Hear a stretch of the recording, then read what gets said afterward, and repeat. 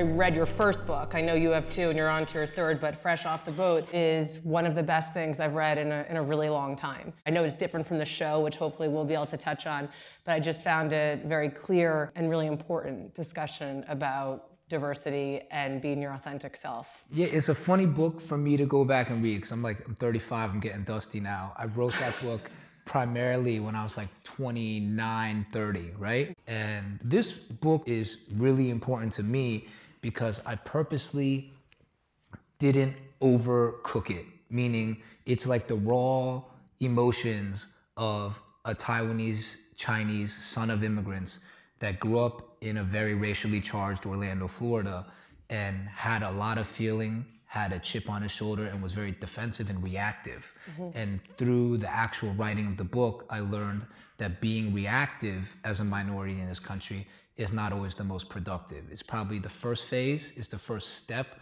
of creating your identity and realizing who you are. Mm-hmm. But then you gotta like step back and think and say, all right, what parts of myself are a reaction to like structural racism and what parts are actually who I am? And these are like choices that I made. You had an anecdote that you shared, which I, I know from some of my friends here at work that uh, grew up in Asian American families sounded familiar, which is that your mom, I think, packed you um, Chinese lunch yeah. for, for school every day.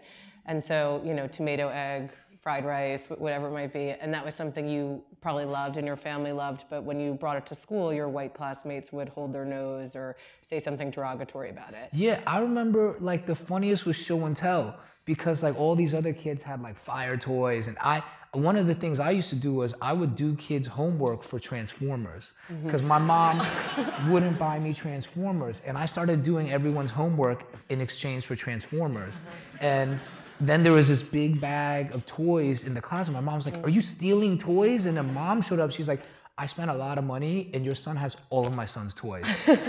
And my son is not doing any of his schoolwork.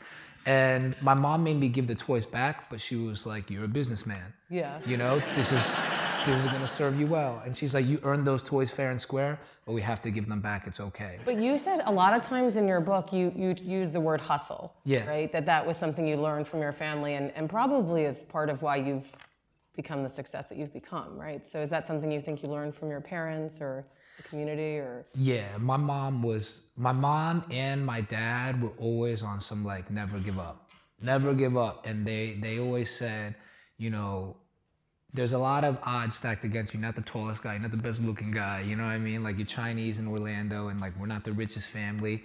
Uh, you may not be the smartest person but they're like you have enough to succeed and like mm-hmm accomplish what you need to accomplish in this life. Can I just ask you one, because I don't think everyone might not be so familiar in the audience with the nuance on that. So when this book was adapted to a TV show, you originally, can you just walk us through why you Yeah, really, really quickly, um, the, the reason why I didn't like the show was because I think that the, well, I know that the yeah. producers and the network, um,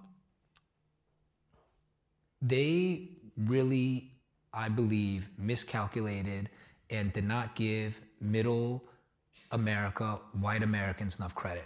Because there are those like exceptions that you see, you know, outliers that are xenophobic mm-hmm. or, you know, uh, have Orientalist tendencies mm-hmm. and they're ignorant about certain things. But like every every group has that. Mm-hmm. You know, every group has that person that's afraid of anything different than them. Yeah. But for the most part, like the white people, at least in New York and LA and even in Orlando yeah. that I've met, they they want to see what we actually cook. They actually want to see our real lives. No one turns on the TV and is like, can you show me like a faker version of yourself? Can you show me like a less genuine version? And the executives were always like, they'll never understand. We need to give them like a version they understand. And basically admitting that they were going to use yellow faces to tell uh, universal white stories mm-hmm. that you see in every other sitcom. Mm-hmm. And, you know, um, but putting, I mean, people have commented to me just the act though of getting Asians onto a sitcom on ABC. People had said to me, it feels like the, the Cosby family for, for Asians is very powerful. Yeah, I, I think that the Cosby show did a very good job of mm. introducing Americans in that point in time mm. to Black America, at least from my perspective as an Asian American looking in through that window. You have to evolve the conversation. And I think the point of social evolution and us being together constantly is to be like, can we get closer to each other?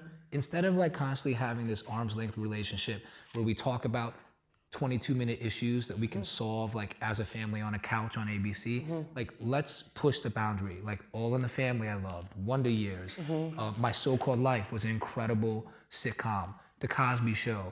And I just felt like, why not take the chance? Why not believe in humanity? Why not believe that we're more similar than we are different? Because I'm like, to believe anything else is like, why, why would you live this life?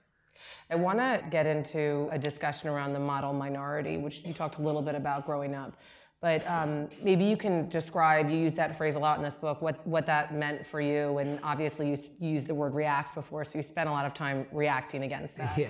Um, and so, what, what did that mean for you? How'd you react against it? Well, I think the model minority is a character that the dominant culture in America created, right?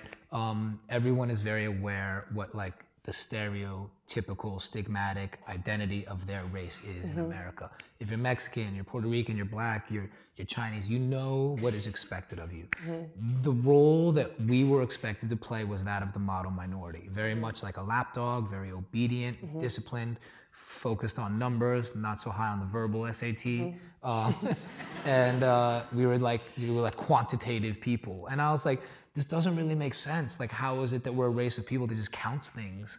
You know? and I was like, I don't like to count things. And like, and my dad really doesn't seem to like to count stuff. Like, my mom's pretty fast, but like, like I don't do very well with it. And you know, I, I like sports. I want to play sports, and I was like very physical. But you did almost get a perfect score on your math, right? Yeah, I did. I did give you a shout high. out yeah, that yeah, was yeah. impressive. Yeah, but I think that's because I worked and because my mom and everyone in the community was like, "You're supposed to be good at this." Yeah. So they signed me up for Kumon. You know, I think if you, I, I think if you signed every kid in America up for Kumon math, there'd be a lot of near perfect math scores. You know. That's a- And uh, it's Kumon. Have you ever seen Kumon math? No, I, I've The heard logo about is a it. sad child's face. It's like- you see this? Yeah. It's super funny. But the thing that I was hyped about was I started to see Kumon Mass in Brooklyn, and I was like, Yeah. yes, they're bringing it to other cultures and communities. Now everybody can count like really fast and accurately, you know. And um, And one uh, really positive thing that came, I think, from um, your family was a, also a love of food.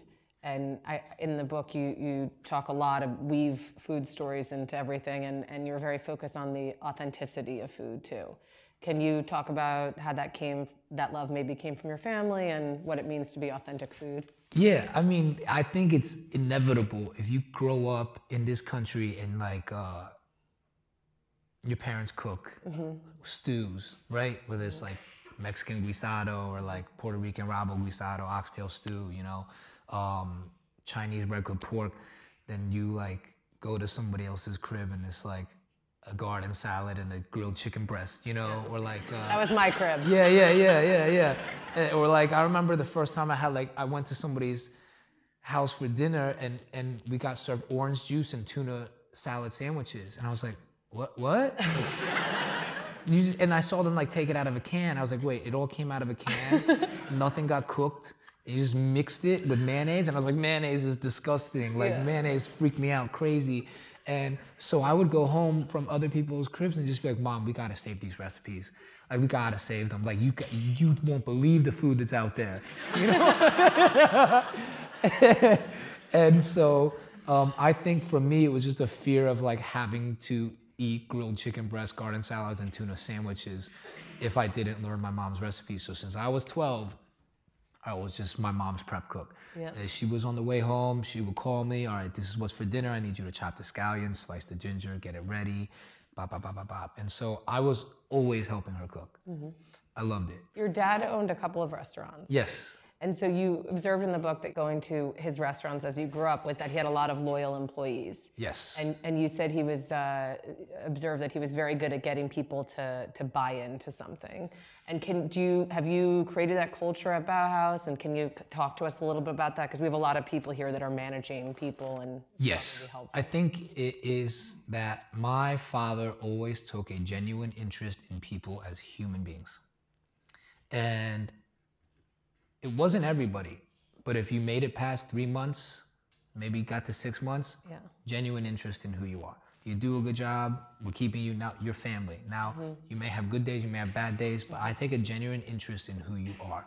Um, I really have, my mom and dad both, I take parts of that. My mom was much stricter and like, look, I love him and he's having maybe marital problems, drug problems, but he needs to get the work done. Yeah. My dad would like be like he he's having personal problems. Let's heal him as a person so he can be a professional. So he can do his professional work. Mm-hmm. He needs to be taken care of as, as a person. Mm-hmm. My mom would say, look, we'll help him as a person, but the work has to be done. Right. I I kind of go with my mother, but I still give the same effort to people in their personal lives that my father did.